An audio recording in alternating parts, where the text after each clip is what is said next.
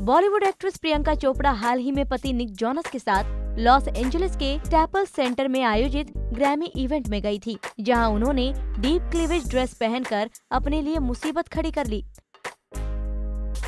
प्रियंका की स्लीवलिंग ड्रेस को लेकर ट्रोलर्स ने उनकी क्लास लगाई। दरअसल अवार्ड शो में प्रियंका ने राल्फ एंड रूसो द्वारा design custom made retro gown पहना था, जिसमें उनके क्लीवेज के साथ बेली बटन भी दिख रहा था। वहीं सोशल मीडिया पर उनकी एक तस्वीर भी काफ़ी वायरल हो रही है, जिसमें वो जे सिस्टर्स के साथ नज़र आ रही हैं। इस तस्वीर में उनके बेली रोल्स भी नज़र आ रहे हैं। गौरतलब है कि प्रियंका को ट्रोल करने की शुरुआत डिज़ाइनर वेंडल रॉड्रिक ने ही की थी। फ़ैशन डिज़ाइनर वेंडल रॉड्रिक्स ने प्रियंका की स्नेक लाइन की लंबाई का मज़ाक बनाते हुए इसे लॉस एंजलिस से क्यूबा तक कहा था। इस कमेंट के बाद कई लोगों ने रॉड्रिक्स को ट्रोल भी किया, जिसके बाद फिर से इस फ़ैशन डिज़ाइनर ने अपना कमेंट किया। कई लोगों ने रोड्रिक्स को प्रियंका की बॉडी शेमिंग के लिए ट्रोल किया।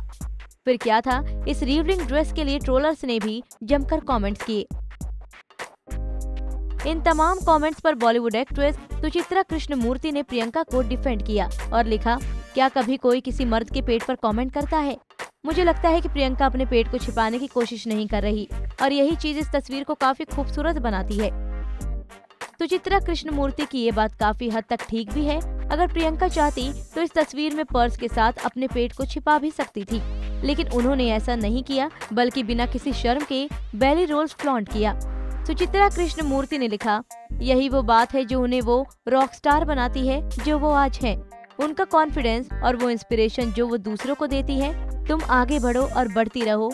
मैं कभी किसी महिला की फ़ैन नहीं रही हूँ, मगर तुम्हारी इस तस्वीर ने मुझे तुम्हारा फ़ैन बना दिया। आगे उन्होंने लिखा दुनिया में सबसे ज़्यादा प्रकाशित होने वाली इस इवेंट में प्रियंका की ये तस्वीरें सामने आना लिबरलाइजेशन को दिखाता है।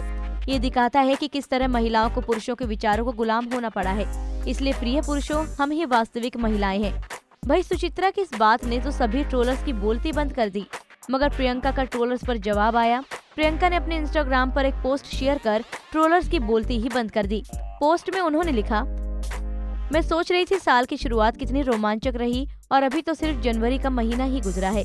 आप जिससे प्यार करते हैं, उसे प्यार करें। आप जैसी ज़िंदगी जीना चाहते हैं, वैसी जिए। दुनिया में सभी परेशान हैं। अपनों और अपने आसपास सभी के लिए दयालु रहें। ये मायने रखता है। आगे प्रियंका लिखती हैं, मुझे जो प्यार मिला है, उसके लिए आभारी हूँ। जो प्यार नहीं मिला, उसके लिए भी आभारी रहूँगी। ये ज़िंदगी एक अनमोल तोहफा है। अगर देखा जाए तो प्रियंका ने अपने इस पोस्ट से उन सभी ट्रोलर्स का मुँह बंद कर दिया, जो उनके कपड़ों को लेकर सवाल उठाते रहे हैं। आप इस बारे में क्या कहना चाहेंगे हमें कमेंट बॉक्स में बताना ना भूलें।